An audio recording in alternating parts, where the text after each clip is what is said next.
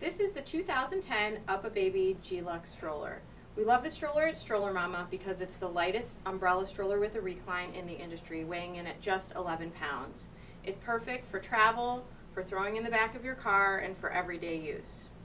The Up a UPPAbaby G-Luxe comes with a free cup holder, and it also works with the optional travel bag if you're going to use it at the airport. New for the 2010 is the extended sun canopy, which has a pop-out UV sunshade.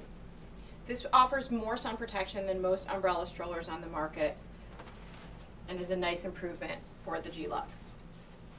It has a mesh seat with a five-point harness and a very easy fold. You can also see that the back has a carry strap. You engage the brakes by pushing down on both sides. To fold the stroller, you lift on the silver tab and the two handle pull tabs and push the stroller down until it locks. When you lift up the stroller, it stands on its own, which is a great feature for parents.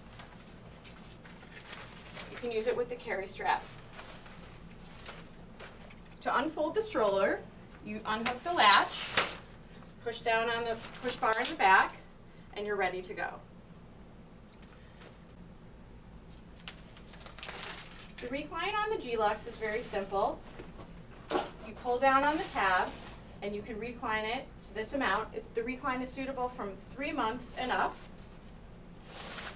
And you can pull it back up, stop it anywhere along the way.